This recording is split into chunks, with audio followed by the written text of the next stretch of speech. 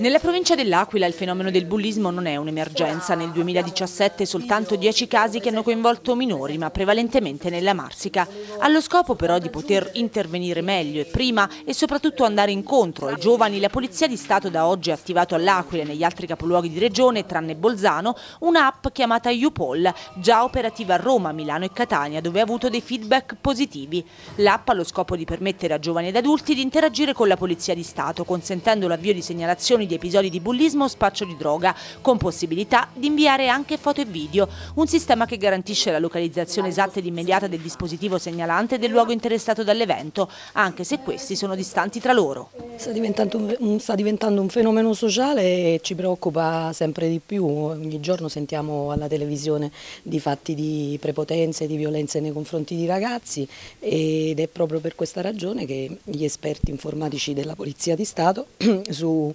eh, seguendo le direttive del capo della polizia hanno studiato questa app che oggi vi presentiamo anche perché parte e diventa operativa anche qui in Abruzzo, nel territorio dell'Aquila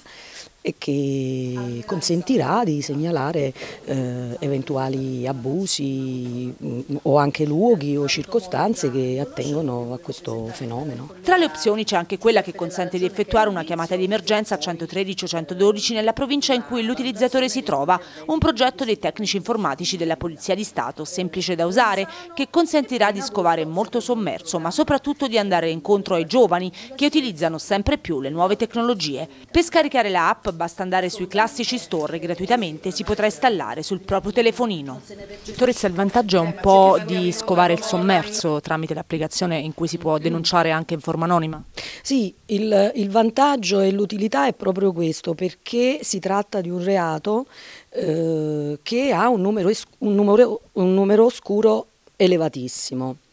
E, ed è per questa ragione che mm, eh, si è pensato appunto di consentire segnalazioni in forma anonima eh, in modo tale da poter eh, avviare poi un dialogo con chi segnala e eh, far emergere fatti che eh, in qualche modo altrimenti non verrebbero, eh, non verrebbero resi noto, noti se non magari quando diventano troppo gravi.